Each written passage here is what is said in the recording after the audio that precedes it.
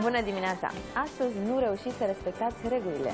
Berbec, un prieten vă ajută să clarificați o neînțelegere cu persoana iubită. Aveți răbdare, totul va reveni repede la normal. Taur, aveți un farmec deosebit și atrageți admirația celor din jur. Cu, puțină, cu puțină atenție vă puteți descurca excelent în afaceri. Vă sfătuim să evitați discuțiile în contradictoriu.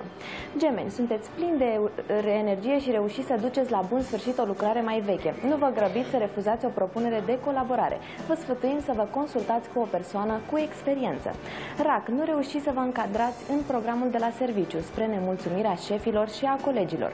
Vă cam lipsește entuziasmul, ceea ce ar putea să vă creeze neplăceri în familie. Leu, sunteți nemulțumit de atitudinea celor din jur și riscați să deveniți impulsiv. După amiază primiți o sumă importantă de la o rudă apropiată. Fecioară, vă enervați la serviciu pentru că nu reușiți să vă terminați treaba la timp. Ar fi bine să apelați la ajutorul colegilor. Balanț, ar fi bine să vă rezolvați dimineața problemele importante când aveți mai multă energie. În a doua parte a zilei, dorința de libertate poate să ducă la o deteriorare a relațiilor cu persoana iubită. Scorpion. Aveți ocazia să faceți schimbări importante pe plan sentimental. Dimineața faceți cunoștință cu o persoană care vă atrage atenția din prima clipă. Vă recomandăm să nu vă grăbiți.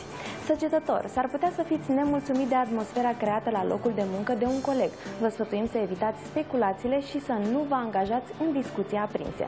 Capricorn, persoana iubită vă înțelege greșit și s-ar putea să-i scați o ceartă. Încercați să lămuriți lucrurile cu calm. După amiază aveți de făcut mai multe drumuri scurte. Vărsător, dacă plecați într-o călătorie, puteți să fiți optimist. Totul se va derula conform planurilor. Relațiile cu prietenii sunt foarte bune. Pești, este posibil să aveți probleme la serviciu dacă nu respectați indicațiile șefilor. Amânați tranzacțiile financiare și deciziile importante în afaceri. Atât pentru moment, să aveți un început de săptămână minunat.